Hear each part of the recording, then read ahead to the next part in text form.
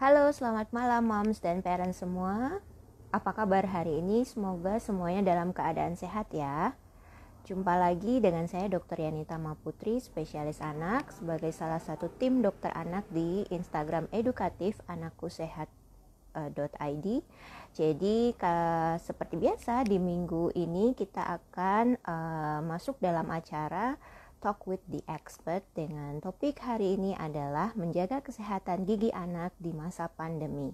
Dan tentu saja dengan sesuai dengan judulnya Talk with the Expert kita akan mengundang narasumbernya dari uh, spesialis uh, gigi anak tentunya dokter gigi dengan spesialis uh, gigi anak. Baik uh, untuk mempersingkat waktu kita akan undang beliau. Siapakah dia?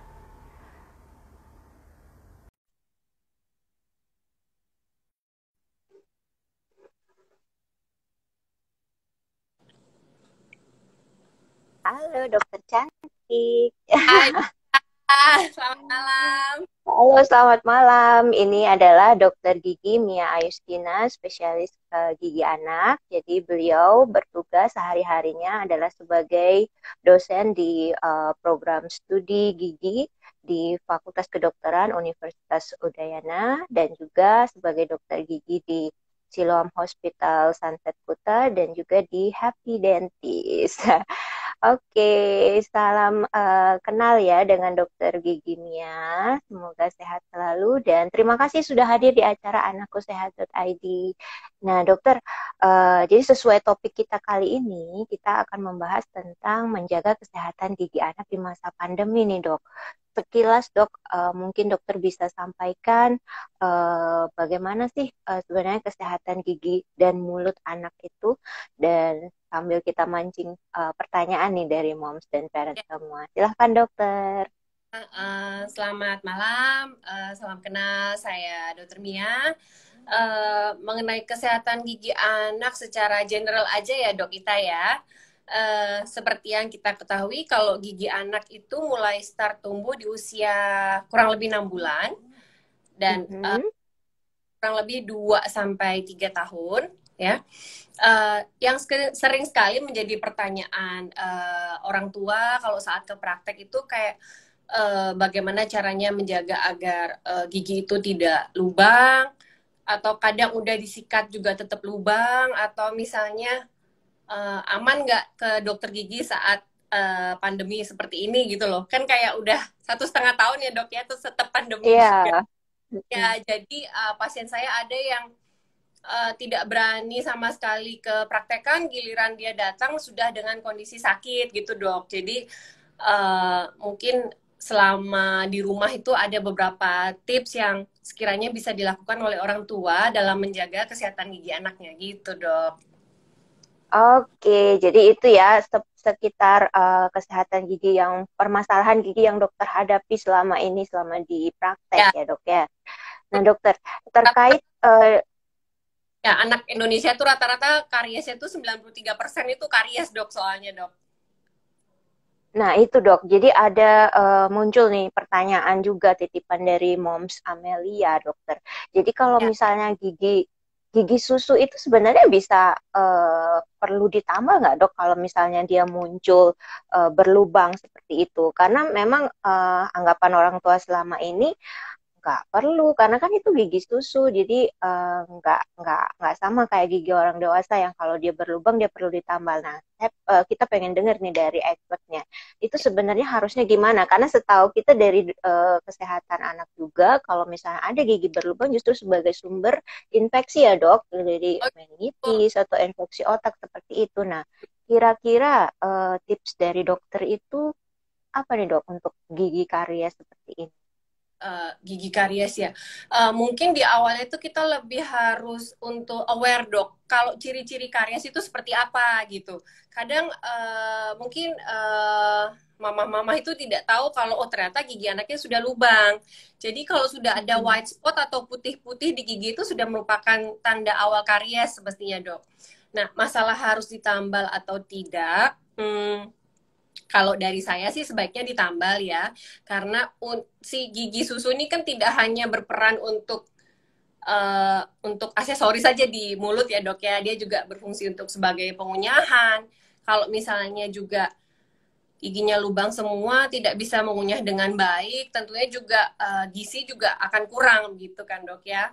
Terus kemudian uh, si gigi ini ada umurnya di dalam rongga mulut dok. Kalau misalnya. Gigi depan atau gigi anterior itu dia akan tanggal di usia 6 tahun dok nah sedangkan untuk gigi geraham yang sering kali berlubang dan uh, apa namanya Nah, kalau kita mengunyah kan sangat perlu untuk gigi geraham ya, yang which is itu ada empat di atas, empat di bawah. Itu penggantinya masih umur 10 sampai 12 tahun. Sedangkan anak-anak hmm. lubang itu keluhan lubang pada gigi geraham itu bisa dari usia 2 3 tahun itu sudah mulai lubang, Dok. Nah, kalau nggak ditambal, nanti kan bisa abses, bisa tambah lama tambah gede. Dan penggantinya itu masih lama banget, kasihan tambal gitu, Dok. Hmm, Baik, dokter. Nah, dokter kalau misalnya uh, ada tips nggak dok untuk uh, namanya anak-anak ya susah untuk menjauhkan mereka dari gula-gula seperti itu.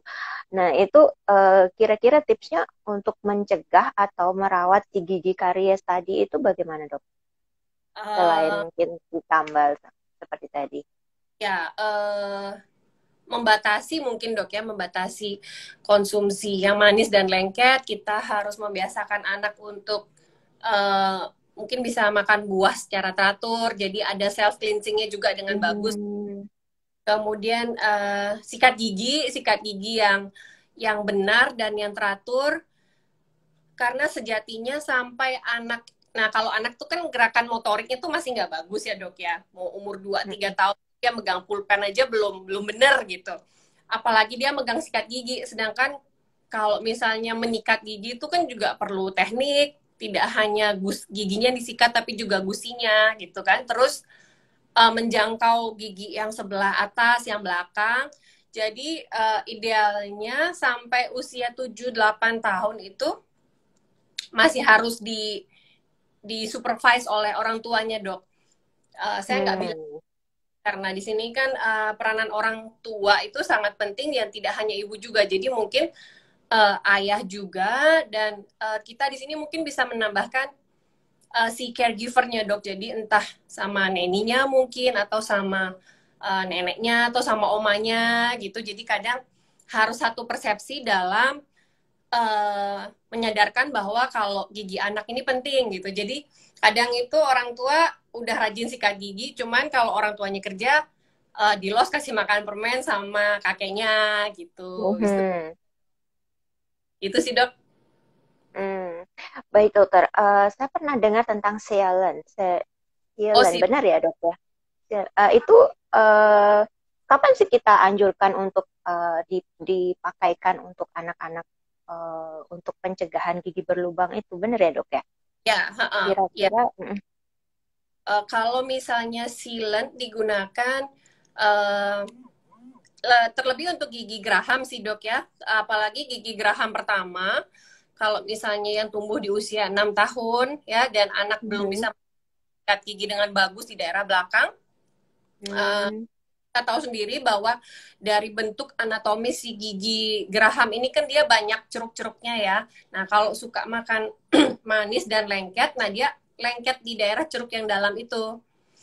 Nah, jadi agar untuk mencegah terjadinya lubang, sebelum lubang pun di di sela-sela ceruk yang dalam itu kita bisa tambahkan suatu bahan untuk e, melandaikan si ceruk-ceruk ini. Jadi kalau misalnya makan manis atau makan suatu yang e, lengket, itu dia gampang mm -hmm. gigi gampang lepas gitu dok. Dan tidak hanya untuk gigi geraham sih kalau misalnya gigi geraham susu pun kalau misalnya berkenan nggak apa-apa boleh juga disilen lebih bagus lagi dok kan okay.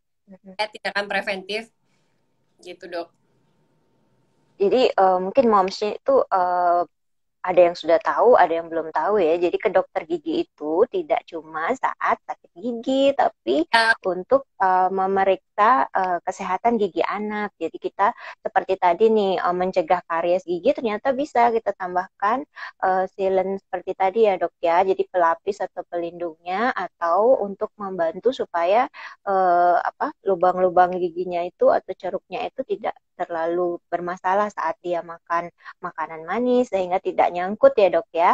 Nah, dan lebih ekonomis. Jadi nggak sampai lubang butuh biaya yang mahal karena kadang kan orang tuh takut kayak aduh ntar ke dokter gigi bolak balik atau ntar uh, biayanya lumayan gitu. Sedangkan kalau di aja sudah sudah cukup aman sampai ke depannya. Begitu dok. Hmm baik dokter. Dokter ini ada pertanyaan dari salah satu uh, papa ya? Jadi uh, mau bertanya, anak saya umur 7 tahun, tapi gigi dewa, uh, giginya sudah ada karang gigi nih dok. Nah kalau hmm. anak-anak, kalau kita mungkin ada karang gigi uh, dilakukan pembersihan karang gigi ya dok. Kalau anak-anak ini gimana ya dok? Uh, mana sih dok pertanyaannya tuh? Okay. sudah ada karang gigi, padahal dia nggak sering makan permen atau makan manis karena di rumah saja. Oke. Okay.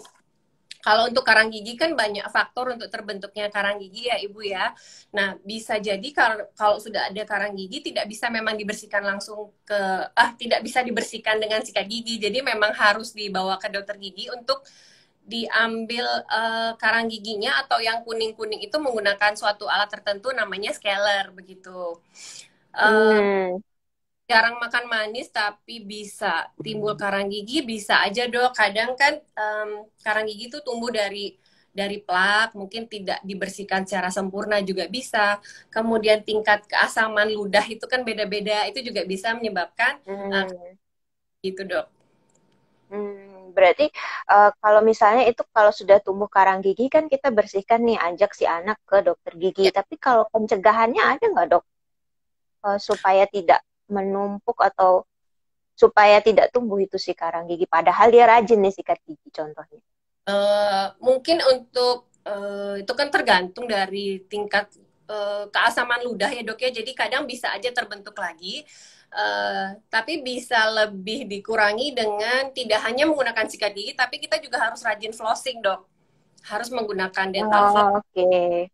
mm -hmm di sela-sela gigi itu juga bisa dibersihkan karena walaupun kita sikat gigi secara teratur itu paling hanya bisa membersihkan 75 sampai 80% rongga mulut, Dok. Jadi yang di sela-selanya itu kadang tidak kena oleh sikat tidak gigi. Kena. Oh, okay. Jadi dental floss itu juga bisa ya, Dok ya, untuk anak-anak itu uh, di dipakaikan kalau misalnya pas kebetulan ada di sini kalau misalnya uh, susah menggunakan yang tali, biasanya saya pakai yang bentuk stick. Boleh saya tunjukkan ya? Ya, boleh, boleh banget dokter. Terima kasih. Di depan meja ada. Nah, ya jadi. Oh, uh, ya, ya, oke. Okay. Ringkes kalau misalnya kita sebagai orang tua yang hendak membersihkan gigi anak dok. Kalau yang panjang itu kan kalau sendiri mungkin mudah ya. Kalau mm -hmm. ke anak-anak jadi pakai ini saja semua gigi di di sela-selanya pakai dental floss. Ya sehari sekali itu sih nggak apa-apa dok sudah cukup kok. Sehari sekali cukup ya dok ya. Terbiasa dengan konsep sikat gigi dan uh, apa sih namanya uh, flossing dok. Oke, dokter kalau misalnya memilih uh, sikat gigi pada anak itu ada tipsnya nggak dok ya? Maksudnya apa? Kan sekarang banyak nih, uh, bahkan yang dipilih sama anak sih biasanya yang ada hadiahnya ya dok ya. Cuman nggak tahu itu sikat giginya yang bagus apa enggak sama juga dengan pasta gigi. Pasti pilihnya yang ada hadiahnya berhadiah gitu atau yang eh, rasa-rasa uh, tertentu. Nah dari dokter sendiri uh, kita juga pengen tahu uh, itu sebenarnya yang bagus kita arahkan anak untuk memilih yang seperti apa sikat gigi dan pasta gigi Oke, dok kita. Kalau misalnya sikat gigi, jika anak belum tumbuh gigi, kita kan bisa menggunakan kasa ya dok ya. Kita bisa pakai kasa, kita bisa pakai uh, tisu, tisu yang ada silitolnya bisa. Uh, dan mulai dikenalkan menggunakan sikat gigi silikon itu kan ada dok ya yang pakai jari itu dimasukkan bisa sampai di usia si bayi ini baru tumbuh gigi. Jadi kurang lebih usia hmm enam bulan dok. Nah begitu enam bulan sudah harus dikenalkan dengan konsep sikat gigi as a real sikat gigi. Jadi sikat yang ada bulunya. Begitu, Dok. Oh. Nah, terus masalah yang mana itu yang penting cukup masuk di dalam gigi apalagi untuk gigi yang ah kalau misalnya sampai belakang dok gigi geraham itu dia bisa mencakup sampai belakang kadang ada yang hmm. agak mulutnya kecil kan jadi agak susah oh. pakai yang lebih kecil. Oke. Okay. uh, kali lagi sih bebaskan kepada orang tua di rumah dan kepada si anak tentunya dok. Kalau saya pribadi di rumah itu ada dua dua sikat gigi kadang. Jadi kayak terserah deh kamu mau pakai yang mana gitu dok. Atau misalnya uh, sempat ngetren tuh sikat gigi 360 atau misalnya uh, sikat gigi elektrik gitu. Untuk suatu sensasi tertentu kalau misalnya si anaknya seneng pakai sikat gigi elektrik gak apa-apa dok nah, tapi kan ada kadang uh, mau dipaksakan pakai sikat gigi elektrik karena uh, orang mikir oh ya pakai sikat gigi elektrik eh gitu. Tapi kalau misalnya si anak tidak nyaman dengan getaran susah juga dok. Ya mungkin paskan sesuai dengan uh, mulut si anak. Hmm. sama satu lagi berkaca kepada saya karena kalau anak-anak tuh kan masih susah ya sikat gigi. Rontak lah gigit lah. Nah kadang sikat giginya itu mekar-mekar gitu loh dok. Kayak mekar. Jadi kalau sudah mekar si sikat gigi ini tidak bisa berfungsi maksimal menyikat gigi hmm. dan memang sudah begitu sebaiknya diganti. Itu dok. Nah, oke. okay. pasta gigi uh, secara umum kan dibagi menjadi dua dok. Yang fluoride dan non fluoride nggak apa-apa kalau misalnya pakai non fluoride cuman apabila anak ini sudah mulai makan kemudian sudah mulai kenal yang manis-manis sebaiknya kita menggunakan pasta gigi yang ada fluoride-nya dok. Cuman satu sebiji beras saja cukup sedikit saja tapi sudah uh, cukup untuk proteksi si gigi anak ini. Karena air mineral kita maupun air air isi ulang kita kan kadar fluoride-nya udah ya beda dengan mm -hmm. luar ya gitu dong. Iya. Oke, berarti memang sangat-sangat individual ya pemilihan uh, besar dan uh, apa besarnya uh, panjangnya sikat gigi tadi. Cuman prinsipnya seperti tadi dok ya, benar-benar tahun 2 sampai tiga biasanya ngikutin itu aja dok. Oke, okay. ya. ya. Dan juga masalah pasta gigi intinya harus dibaca baik-baik ya dok ya. Itu kandungannya ya. ada fluoride atau tidak. Oke, dokter ini ada pertanyaan dari Bapak Oke Manikmas. Jadi dok gigi cucu saya umur 8 tahun dikatakan giginya besar-besar tapi rahangnya kecil. Itu harus pakai kawat gigi nggak ya dok? Gimana ya biar tidak pakai kawat gigi? Mungkin agak sus susah juga ya dok ya perawatannya dan juga itu awal-awal mungkin nyeri juga dok pakai kawat gigi. Ada ada uh, opini nggak dok tentang hal ini? Oke, kalau misalnya gigi besar, hmm, karena mungkin saya tidak lihat kliniknya ya, Bapak Oka ya. Tapi biasanya kalau baru tumbuh sedikit giginya, apalagi gigi depan, itu memang terlihat sangat menonjol dibandingkan sama gigi susu yang cukup kecil-kecil ya. Um, kemudian, tapi kalau memang sudah sempat dicek, kalau misalnya rahangnya kecil, Uh, itu bisa observasi dulu sih Bapak. Kita kan masih lihat perkembangan dari rahangnya dan di usia 8 tahun sepertinya uh, belum semua gigi permanen tumbuh. Masih ditunggu sampai umur 12 13 tahun uh, baru hmm. bisa di ya begitu. Karena saya nggak lihat oh. juga sih. Jadi masih bisa observasi ya dok ya sampai usia um, 12 tahun ya. Oke. Okay. Eh, giginya jadi uh, berdesakan, susah makan, mungkin uh, secara tampilan juga kurang baik. Mungkin nanti cucunya Bapak bisa dengan sendirinya malah minta pakai kawat itu juga bisa, Pak. Oh ya, mempengaruhi penampilan atau susah ya mungkin dok ya.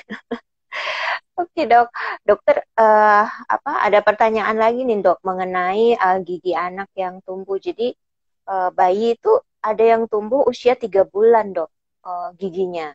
Kemudian bersamaan dengan uh, jadi dia kan usia tiga bulan memang belum mulai MPASI ya, tapi setelah itu di usia enam bulan dia akan memulai MPASI. seperti mulai makan ya dok ya. Dan kata ibunya itu di usia enam bulan giginya bisa tumbuh barengan, makin banyak. Nah dokter uh, itu ada tips nggak dok untuk karena dia anaknya jadi rewel, nggak mau makan, padahal tuh nutrisi penting banget dok untuk gigi yang baru tumbuh itu uh, ada tips khusus nggak dok untuk uh, si ibu ini? Uh, uh, gimana? Karena giginya baru tumbuh jadi susah makan begitu ya dok ya? Iya dok, tambah rewel dan bahkan itu tumbuh giginya barengan banyak. Jadi ada oh. dua uh, tumbuh barengan mungkin uh, jadi membuat si bayi jadi tidak nyaman dok. Ya. Ada tips khusus nggak dok untuk hal ini? Kalau misalnya seperti itu sih, uh, itu kan biasanya cukup ber, hanya berjalan beberapa saat ya ibu ya.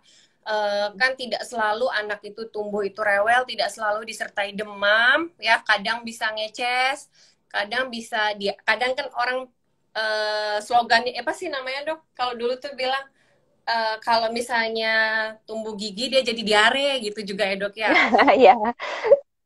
itu juga ada juga sih. Uh, karena giginya gatel atau terasa tidak nyaman, tangannya masuk-masuk ke dalam mulut sehingga uh, bakteri masuk menyebabkan diare itu bisa dok. Tapi kalau menyebabkan tidak nyaman, kita bisa pakai titer mungkin kalau yang masih usia enam bulan ya, kita biasanya taruh di kulkas, mungkin agak dingin, lebih nyaman apabila digigit-gigit. Kita bisa pakai potongan uh, semangka beku, bisa dok. Jadi sambil dia gigit-gigit biar kerasa nyaman aja. Istilahnya kalau yang gede aja kita sariawan pun kita makan tidak enak dok apalagi anak yang mungkin belum bisa mengutarakan dia itu mm -hmm. kenapa jadi ditahan-tahanin dua tiga hari biasanya sih udah hilang sih nggak apa-apa dok itu karena kita juga okay. harus hargai si anak ini juga dok karena dia lagi sakit dia lagi tidak enak kan tidak harus kita paksa untuk dia makan seperti pada umumnya kecuali kalau emang misalnya kita bisa kasih yang lebih soft atau dia sukanya apa boleh diberikan seperti itu dok. Oke dokter. Nah ini uh, yang ditanyakan mengenai yang tadi Ibu Ayu itu dia tiga bulan sudah tumbuh itu normal ya dok? Biasanya kan rata-rata umur enam bulan ya kata dokter tadi. Nah kalau iya. tiga bulan sudah tumbuh itu bisa terjadi ya dok ya? Ya dok, bah bahkan ada yang baru lahir tumbuh gigi itu juga ada dok, namanya prenatal, tapi nanti dia akan uh, lepas dengan sendirinya biasanya dok. Hmm. Oke dokter. Nah ini kan dia tumbuhnya lebih awal nih. Ada juga nih yang uh, apa bayi yang justru tum uh, belum tumbuh di usia 12 bulan itu jadi ibunya pun juga uh, kebingungan karena kan kalau dilihat dari anak-anak uh, yang lain yang sebaya itu udah pada dua atau tiga gigi. Nah ini dia justru belum tumbuh dokter. Uh, apakah dan pertanyaannya adalah apakah ada uh, tips khususnya dok biar dia tumbuh giginya gitu atau itu memang bisa terjadi juga? Ya bisa terjadi sih dok kurang lebih uh, ada sampai spam waktunya sampai 12 bulan itu bisa dok. Begitu. Jadi ya nggak apa-apa ditunggu saja kalaupun memang misalnya butuh foto rongsen kan itu agak susah ya untuk anak kecil ya. Tapi biasanya kan terlihat tuh kalau emang sudah mulai tumbuh gigi itu apa atau sudah mulai ada benih-benihnya si gusi-gusi itu pasti akan bengkak-bengkak gitu loh dok biasanya. Mm-hmm. Berarti nggak apa-apa ya dok ya ditunggu saja atau ada uh, kadang ada yang bilang kasih kasih dia gigit-gigit biar tumbuh giginya gitu. Boleh atau... untuk yang periodontalnya nggak apa-apa dok. Oke, berarti itu benar ya dok ya, maksudnya eh, kadang-kadang kan itu dibilang uh, ah mitos gitu, tapi kan bisa juga ya merangsang ya dok ya. Iya, Dokter, ini ada pertanyaan juga dari uh, dari momsnya. Kalau sikat gigi anak waktu tidur pakai kasa boleh nggak dok? Karena anaknya katanya susah sikat gigi. Padahal penting uh, sikat gigi sebelum tidur ya dok ya. Nah ini dia susah mau pakai kasa boleh ya dok? Uh, nggak dijelaskan ya umur berapa ini ya? Iya ini dia tidak bilang umurnya. Hmm, tapi sih uh, sejatinya begitu namanya udah ada gigi tetap pakai sikat gigi sih Bu karena kalau kasa kan kita tidak uh, pembersihan tidak maksimal begitu. Ya sebaiknya uh, dilakukan apa ya uh, konsistensi dari orang tua dan si anak mengenai kapan waktunya sebaiknya uh, snacking, kapan dia uh, sikat gigi. uh, itu dibuat rutin dok. Jadi dengan karena sejatinya anak itu kan suka dengan keteraturan ya dok. Jadi jika mereka sudah hafal dengan jamnya, walaupun kadang uh, ya rewel-rewel, nangis-nangis, mereka tahu mereka tuh harus sikat gigi begitu dok. Uh. Sampai sekarang dua setengah tahun kalau sikat gigi juga masih drama gitu, sampai harus dipegangin tangan kaki kadang. Uh, yang penting kita bisa dengan uh, konsisten, kita juga tidak dengan marah-marah, uh, kita bisa memberikan uh, pengertian atau afirmasi yang positif dok kita bahwa ini nih untuk kebaikannya dia begitu. Jadi sambil disikatnya sambil dikasih tahu. Ya nangis-nangis juga paling sebentar juga. Istilahnya kan kalau kita anak kecil ganti pampers pun nangis-nangis kita ganti gitu loh. Apalagi sikat gigi walaupun nangis-nangis tetap harus dipaksa. Jangan gara-gara anaknya nangis malah jadi takut sikat gigi begitu dok. Seringkali begitu yang terjadi. Karena nggak sikat gigi dia uh, radang gusi atau gingivitis dan orang tuanya malah uh, dok saya nggak berani nikatin karena giginya keluar darah begitu dan hmm. uh, plaknya akan semakin menumpuk jadinya malah tambah tambah parah begitu dok. Oke dokter uh, kalau misalnya memakai obat-obat kumur gitu untuk anak-anak sudah boleh ya dok ya? Uh, saya sih jarang sih ya dok ya karena pada anak-anak juga sampai 2-3 tahun mereka malah untuk spitting untuk berkumur pun kadang belum belum bisa ya dok belum bagus ya hmm. kecuali kalau besar sih nggak apa-apa ya ya itu jadi pun, itu ya moms ya mm -mm. harus kayak tidak mutlak setiap malam harus kumur-kumur juga tidak tidak tidak tidak perlu sih hmm. Baik, jadi kita tahu uh, banyak hal ya sekarang. Benar-benar bahwa uh, perawatan gigi anak itu memang uh, mungkin ditambahkan keteladanan juga ya dok ya jadi barengan gitu sama orang tuanya sikat gigi jadi uh, dia melihat kita sikat gigi melakukannya dengan baik karena dia juga suka meniru ya dok ya dan diulang setiap hari uh, ada alarmnya lah jam segini kita uh, sikat gigi seperti itu. Nah mungkin itu jadi hal jadikan hal yang menarik buat anak-anak. Oke, dokter, uh, itu tadi kalau misalnya gigi tumbuh, gigi tumbuh sekarang gigi tanggal nih dok. Kalau umur umur 8 tahun uh, itu belum ada gigi yang lepas, itu masih aman nggak dok? Maksudnya gigi susunya belum ada yang tanggal. Uh, uh. Harusnya kan, maksudnya di anak sebayanya mungkin sudah pada ada yang uh, sudah lepas satu atau dua, ini malah belum ada. Ya, uh, bisa sih dok kita uh, kadang itu karena giginya baru tumbuh di umur satu tahun misalnya, otomatis dia akan waktu tanggalnya lebih mundur. Uh, mm-hmm. Ada di usia 8-9 tahun itu baru tanggal gigi anterior, uh, gigi depan bawah itu baru tanggal dok. Gak apa-apa. Hmm, jadi memang tidak apa-apa ya dok ya uh, ya. ditunggu saja yang penting tetap dirawat dengan baik giginya Betul. mungkin itu yang bisa uh, uh. terus dok kalau anak-anak itu kan dia aktif banget nih nggak bisa diem bahkan udah dikasih tahu dijagain juga tetap aja ada uh, episode jatuh naik sepeda atau lari mungkin kebentur ke depan. Nah ini ada uh, uh, pertanyaan juga. Jadi anaknya itu dia jatuh dan terbentur di gigi depan atas. Nah itu uh, dia bengkak terus uh, posisi giginya agak ke dalam. Nah itu perlu uh, apa di dokter gigi nanti kira-kira itu akan diapain ya dok? Maksudnya akan dicabut atau akan direposisi atau bagaimana? Uh, umur berapa ya dok? Umur empat tahun dok. Empat tahun berarti kan uh, masih gigi susu ya dok ya karena itu kan berbeda. Memang kasus trauma pada gigi anak bagian depan lagi itu sangat-sangat sering terjadi kayak hampir hmm. tiap betul sebulan sekali itu pasti ada aja dok. Apalagi sekarang karena mungkin energinya kurang tersalurkan ya. Ya jadi kasus kasus jatuh itu meningkat dok. Uh, itu bisa kita kita observasi. Kemudian tapi kalau emang sudah bengkak sebaiknya dibawa ke dokter gigi dok ke dokter gigi untuk dilakukan foto rongsen dok. Jadi untuk kita mengecek apakah ada fraktur di giginya apakah patah di bagian akar atau cuman mengsle aja sehingga nanti bisa direposisi kembali atau bagaimana sebaiknya harus ke dokter gigi sih untuk dicek. Begitu ibu. Eh begitu ibu. Begitu dok. Iya dokter.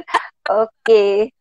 kan begitu juga soalnya Mm-hmm. Karena kadang kan ya pasti takut juga dia karena anak-anaknya pasti nanya kenapa mau diapain. Mungkin uh, disuruh buka mulut aja sudah susah di rumah. Ya. Apalagi ya. mau diajak ke dokter gigi ya. ya Oke, tapi, tapi tetap harus diperiksakan ya dok ya. Ada bengkak dan itu uh, berpengaruh terhadap uh, dia susah minum, dia susah makan, dia susah untuk sikat gigi, ya sebaiknya dibawa ke dokter. Dok itu kan termasuk tindakan emergensi ya apabila trauma pada gigi anak gitu.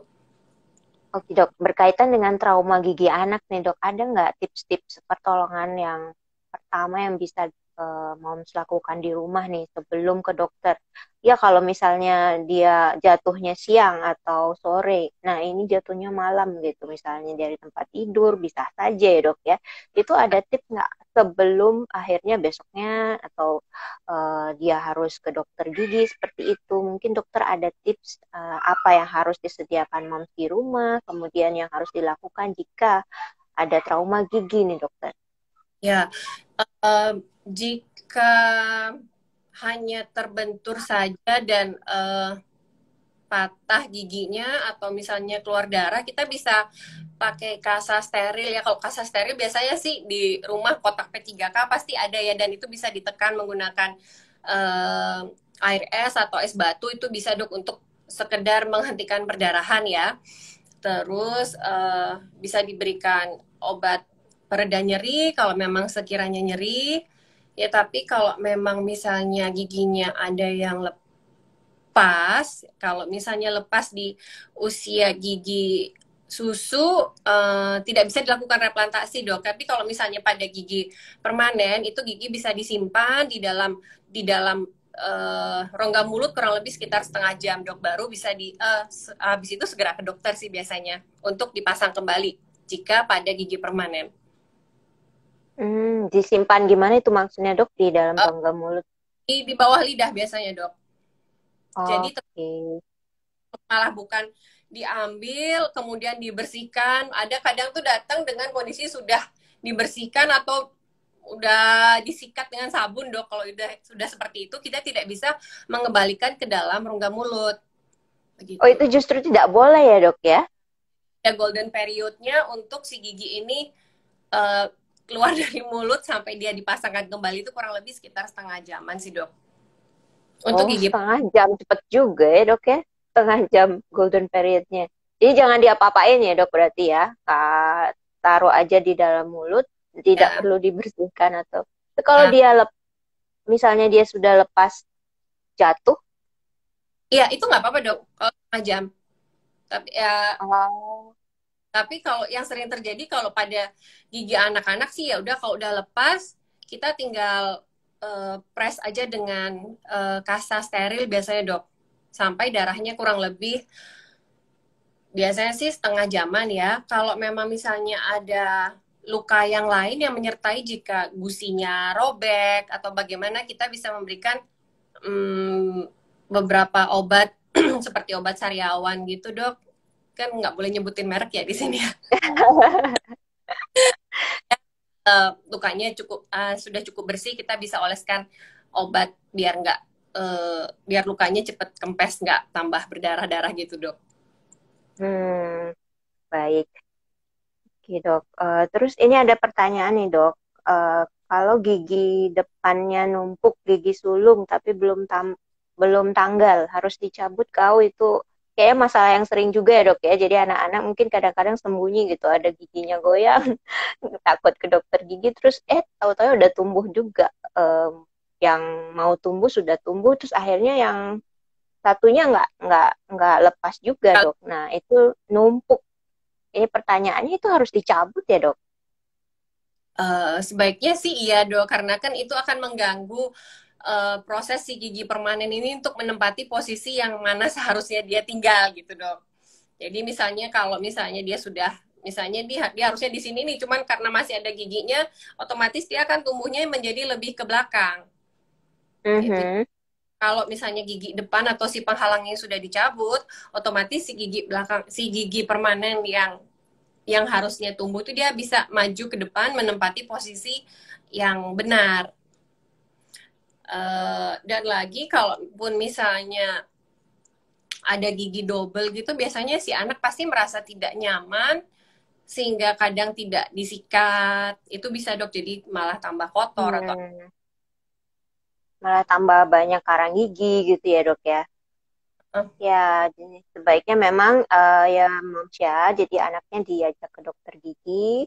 Karena itu mungkin nggak emergency jadi bisa uh, buat appointment dulu jadi janjian dulu untuk buat uh, ke dokter gigi. Karena kan masa pandemi biar uh, aman juga ya. Nah ya, kalau uh, bisa digoyang-goyangin sendiri juga nggak apa-apa dok. Bisa lepas sendiri. Kayak zaman kita dulu. Pakai benang oh. pakai apa itu juga bisa oh jadi nggak apa-apa di ini dulu dok ya? Yang gigi susunya ya dok ya? Dan tergantung sih dok apakah si uh, giginya ini lumayan cukup goyang atau tidak. Kalau memang posisi gigi permanennya cukup di belakang sehingga si gigi si gigi susunya ini akarnya masih panjang dia akan tetap di situ dok. Tapi kalau misalnya si gigi permanen ini cukup memakan akar si gigi uh, susu ini, nah nanti hmm. Ah dengan uh, tekanan dari digoyang-goyangin si anak ini bisa lepas sendiri bisa dok atau gara-gara kepentok mainan sama temennya lepas ya ya syukur ya tidak perlu dok ya ini dicari-cari uh, apa uh, ininya uh, apa kepentoknya dok ya gitu. Oh iya dokter. Uh, jadi kalau um, kalau pada anak-anak itu kadang uh, kalau misalnya dia pasti cabut uh, giginya itu kan masih perdarahan nih dok. Bener gak sih dok kalau misalnya dia itu uh, dikasih es krim nih dok? Itu uh, kalau dari dokter gimana dok? Habis cabut gigi pasti dapat es krim. Nah, itu mungkin jadi rewardnya dia atau memang kita juga ada uh, efeknya nih ke giginya si anak. Ya, uh, as a reward boleh lah dok kan uh, sudah cukup uh, kadang kan saya aja datang ke dokter gigi itu males-malesan ya dok, apalagi anak kecil ya. jika uh, biasanya sih um, uh, saya ada kayak term and condition gitu dok. Jadi misalnya pas mau cabut gigi, pastikan si anak ini sudah makan, sudah mm -hmm. udah beres. Jadi kadang kan pencabutan itu bisa dua cara ya, bisa dengan uh, topikal atau kita cuma semprotkan anestesi lokal aja dan cabut. Ada yang perlu dilakukan suntikan sedikit baru dilakukan pencabutan. Itu berlaku jika si akar gigi susunya masih cukup kencang gitu dok. Hmm. Uh, kemudian dipastikan anak dalam kondisi baik-baik saja, uh, tidak ada tidak ada suatu kelainan sistemik, tidak dalam konsumsi obat-obat tertentu biasanya ya, tapi setelah lakukan pencabutan kurang lebih 10 menit gigi tampon biasanya dok. 10 sampai 15 menit.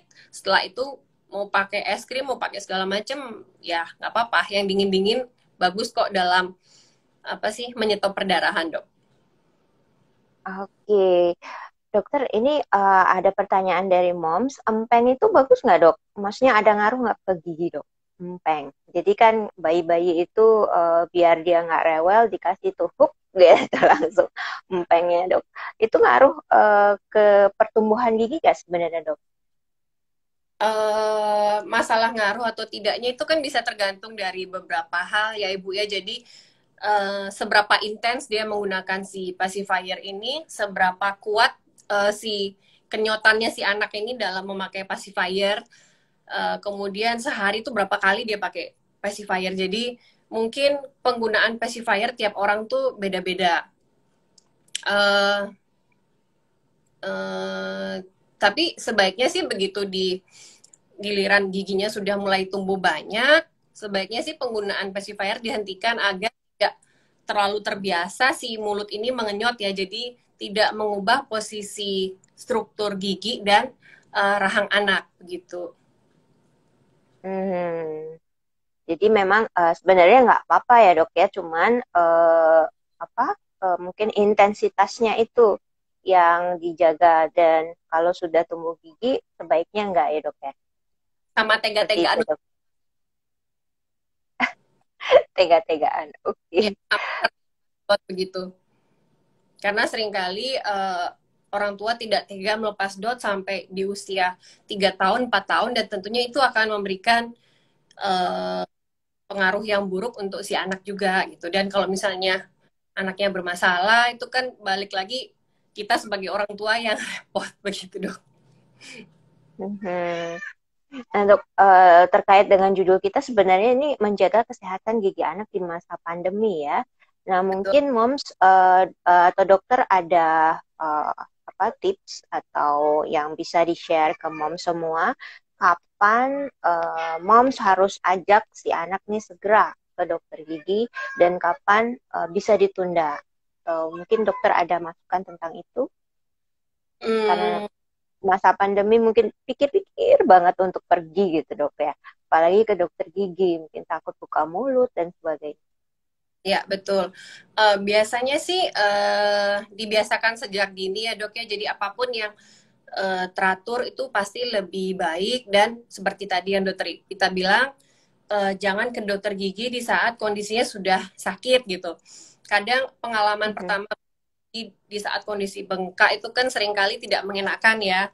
Berbeda dengan apabila si anak ini sudah rutin dibawa ke dokter gigi atau misalnya paling tidak dikenalkan di usia uh, minimal satu tahun dok, satu setengah tahun, dua tahun, atau misalnya jika uh, kakaknya ke dokter gigi bisa ikut diajak. Itu pun dengan catatan si kakaknya juga um, cukup kooperatif ya. Jadi pengalaman yang didapatkan ke dokter gigi itu uh, pengalaman yang menyenangkan begitu dok.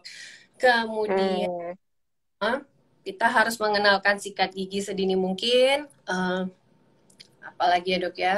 Uh, Nah, tadi dengan pemberian silen atau misalnya lubang yang kecil yang sudah bisa ditambal, sebaiknya ditambal. Jadi anak ini tidak sampai merasakan yang namanya uh, pulpitis atau uh, nyeri pada gigi yang berlebihan, bahkan mungkin sampai abses, susah makan, begitu dok. Terus uh, kita juga bisa menyiapkan diri kita as a parent waktu kita mau ke dokter gigi dan si anak ini waktu mau ke dokter gigi. Jadi kita bisa memberikan afirmasi sebelumnya dari misalnya seminggu nih mau ke dokter gigi kita sudah memberikan informasi kepada si anak. Kita bisa lakukan suatu uh, role play ya, bisa dengan mainan dokter-dokter gigi yang kayaknya sih harganya beragam ya dari 15.000 pun itu ada. Jadi kalau misalnya dia punya boneka kesukaannya bisa diajarin sikat gigi, bisa mulai didengarkan beberapa uh, sound-sound kalau ke dokter gigi itu seperti apa. Kemudian misalnya si anak ini suka nonton TV, uh, eh, ada beberapa episode yang saya pikir cukup mendidik untuk si anak seperti misalnya Peppa Pig going to the dentist Nah itu kan diceritain si Pepa ini datang ke dokter gigi pakai kaca mulut gitu dok. Atau misalnya uh, terakhir kemarin saya nonton Storybots ada di Netflix kayak uh, kenapa sih harus sikat gigi. Jadi itu sering-sering digaungkan dok. Jadi nanti pas dia ke dokter gigi pun itu akan menjadi suatu pengalaman yang menyenangkan. Kita juga uh, si anak waktu mau dibawa ke dokter gigi jangan pas jam dia baru bangun makan gitu dok jadi memang benar-benar dipersiapkan dengan baik waktu dia mau ke dokter gigi dok gitu jadi memang membuat dia nyaman ya dok ya? Uh, uh, uh. dan kita juga uh, kitanya juga harus tenang juga dok. Uh, memberikan kalau misalnya orang tuanya cukup tenang tentunya si anak juga bisa datang ke tempat yang nyaman dok. Jangan kayak baru datang ke dokter gigi tuh kayak kalau mas dok anak ini kan juga merasakan aura bahwa gue mau dibawa ke mana nih gitu dok. Ya. Kayak eh, nggak e, apa-apa ya dok ya. E, nanti sakit nggak dok? Nah kayak gitu dok. Itu kan aku mau diapain? Gitu dok. Jadi, tanya nanti ya uh, begini begini begini. Nanti di, ada ada magic lamp misalnya di dentist. Nah kursinya bisa naik turun up and down seperti gitu gitulah dok. Bagaimana membuat suasana enak gitu jadi bisa dibilang kalau ke dokter gigi di masa pandemi itu uh, mungkin apa masih cukup aman ya dok ya, apalagi sekarang itu uh, supaya artinya pencegahan itu tetap yang terbaik, uh, bukan oh. cuman saat uh, sakit gigi atau justru pas sakit gigi ditunda-tunda seperti itu. Nah oh, dokter, uh, uh, karena ini kan masih dalam pandemi, mungkin beberapa kostum kita as a dentist itu kan nggak kayak dulu dok, nggak kelihatan muka, nggak mm. ini wajah senyum atau tidak gitu. Jadi mungkin di saat perkenalan juga itu kita bisa bilangin nanti dokternya pakai baju astronot loh atau dokternya pakai baju superhero, pakai pakai helm, pakai apa gitu dok. Kadang kan ada yang pakai face shield, ada pakai apa gitu dengan rangkap dua masker itu pun kayak nggak terlihat sih bentuknya kita tuh kayak gimana gitu dok. Oke dokter, dokter uh, bel apa nggak terasa nih sudah hampir satu jam dokter kita berbicara tentang kesehatan gigi anak. Um, sebelum saya simpulkan, mungkin dokter uh, ada penjelasan sedikit tentang tahapan pertumbuhan gigi anak secara normal dokter dari bayi sampai uh, apa tumbuh lengkap itu uh, seperti apa? Ada opini tentang uh, itu, dokter? Oke, okay. kalau misalnya uh, in general aja ya dok ya, kan gigi anak itu mulai tumbuh kurang lebih usia 6 bulan sampai gigi geraham keduanya tumbuh, jadi gigi hmm. anak itu ada, ada 20 di rongga mulut, ya. Dan semua gigi itu akan berganti semuanya. Karena kadang ibu-ibu tuh mikir oh yang ganti tuh gigi depan aja gigi belakangnya nggak mm-hmm. ganti. Jadi semua gigi akan berganti sampai mulai start dari kurang lebih enam tahun sampai di usia uh, eh, 13 tahun. Begitu dok untuk perkembangan hmm. kadang uh, jangan cemas kalaupun misalnya ternyata uh, kok gigi dua yang tumbuh gigi permanen kok tumbuhnya warnanya kuning begitu ya karena memang secara struktur gigi dewasa dan gigi susu itu berbeda makanya namanya gigi susu ya karena dia putih berbeda dengan gigi permanen yang dia berwarnanya uh, mungkin agak kuning jika dibandingkan dengan gigi susu begitu dok. Oke, baik dokter. Jadi moms uh, beruntung sekali ya moms yang semua hadir atau ikut live uh, kali ini. Jadi kita dapat uh, banyak sekali sharing uh, masukan dari dokter gigi Mia Ayustina. Jadi dokternya adalah dokter spesialis gigi anak dan uh, banyak hal yang sudah dikasih tips-tipsnya. Jadi saya izin simpulkan ya dok ya. Biarpun di masa pandemi seperti ini, uh, jadi uh, jangan kendor di rumah untuk tetap menjaga kesehatan gigi dan mulut anak. Seperti tadi, uh, anak itu sangat suka uh, keteladanan, jadi meniru dan keteraturan. Jadi ajaklah dia untuk sikat gigi secara teratur, uh, sikat gigi sebelum tidur dengan cara yang baik dan benar. Ajarkan juga dia melakukan dental floss ya dok, sekali sehari itu cukup jadi itu uh, bisa untuk membantu uh, menjaga kesehatan gigi dan mulut anak.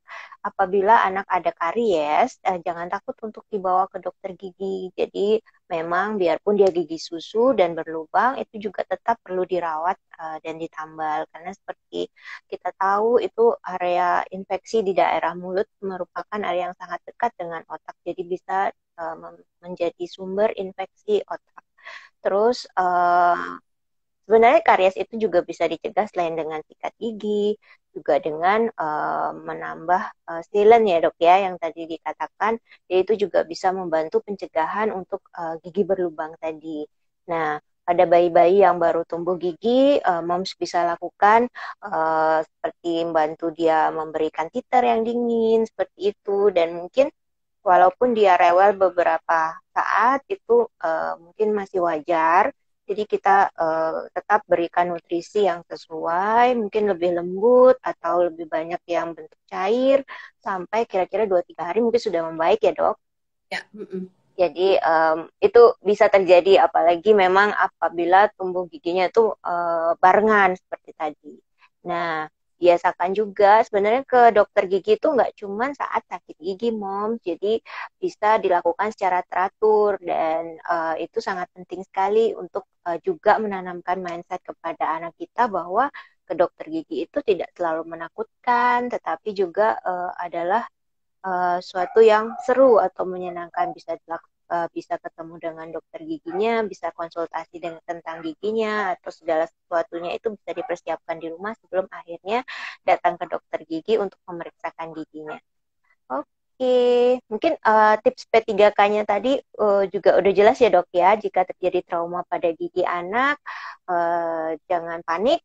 Jadi apabila ada perdarahan pada gusi atau giginya, uh, apa patahan giginya itu lakukan kompres dingin Kemudian jika ada patah, uh, tetap simpan dulu di rongga mulut dalam setengah jam harus sudah ke dokter gigi. Uh, kalau misalnya itu gigi permanen ya dokter ya. Kalau gigi susu mungkin enggak. Tapi tetap uh, pertolongan pertamanya adalah mungkin kompres dingin tadi.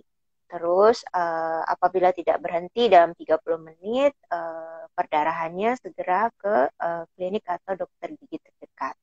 Mungkin dokter ada tambahan?